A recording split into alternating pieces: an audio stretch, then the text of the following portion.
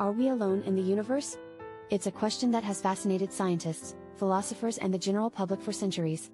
In recent years, the search for extraterrestrial life has taken on new urgency as technological advances have made it possible to search for life on other planets and moons in our own solar system and beyond. One of the most exciting discoveries in recent years was the detection of water on Mars, which has led many scientists to believe that the red planet could once have been capable of supporting life. However, the search for extraterrestrial life extends far beyond our own solar system, as astronomers use powerful telescopes to search for signs of life on exoplanets, which are planets that orbit stars outside our own solar system. One of the challenges of finding life beyond our own planet is that we have no way of knowing what kind of life forms may exist. It could be that life takes on forms that are vastly different from anything we have ever seen on Earth.